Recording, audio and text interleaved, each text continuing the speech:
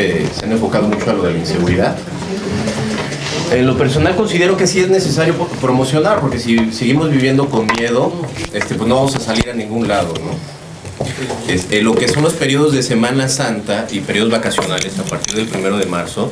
siempre hemos recibido el apoyo de las diferentes corporaciones de los tres niveles de gobierno en, en, en operativos de vigilancia para que se lleve este, pues un periodo vacacional y todavía más allá del periodo vacacional pues vienen los periodos de puente, este, la temporada de calor y, y están presentes siempre, o sea, a nivel municipal, estatal, policías estatales, este, algunas policías federales nos, nos, apoyan con rondines, ¿no? Además de que este, los balnearios estamos procurando mejorar la calidad de nuestros servicios, que ya se quita ese mito de que los balnearios son este, de mala calidad, eso que se manejaba en los 80s. Ahora los balnearios puedo decir que tienen una calidad muy buena en, en cuanto al servicio y, y seguridad, sobre todo para los visitantes dentro de los balnearios, como dice el secretario, con los cursos con los que nos apoya la Secretaría de Turismo,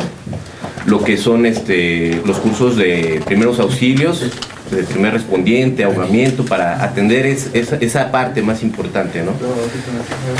Ahora sí, no podemos este, estandarizar a todo, el, a todo el estado por ciertos puntos rojos que hay. Sí, como ahorita la situación que están diciendo, o sea, etiquetan a, por lo que está pasando en, en la zona lagunera, etiquetan pues al, municipio de, Durango, o al Nombre de Dios, o a Canatlán. O sea, no puedo decir que, sea, que seamos el estado más seguro, pero tampoco somos, o sea, que no podamos salir a las calles a, a disfrutarlo con las familias. O sea, todo el mundo sale, llega fin de semana y tenemos ganas de salir, de, de olvidarnos de todo ese estrés que traemos del trabajo y de todo lo que vemos en las noticias y demás. Entonces sí hay lugares muy seguros para, para poder convivir con las familias.